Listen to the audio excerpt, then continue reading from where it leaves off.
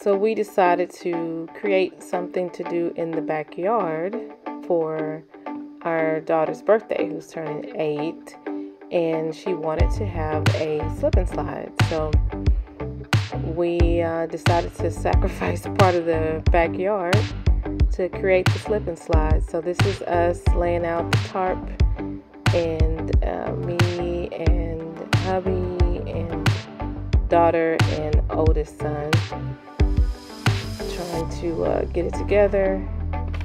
And a couple other people you might see coming and going who aren't doing a whole lot of work.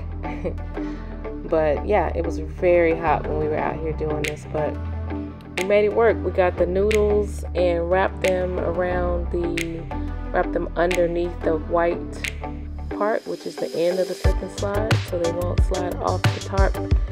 And uh, we wrapped them underneath and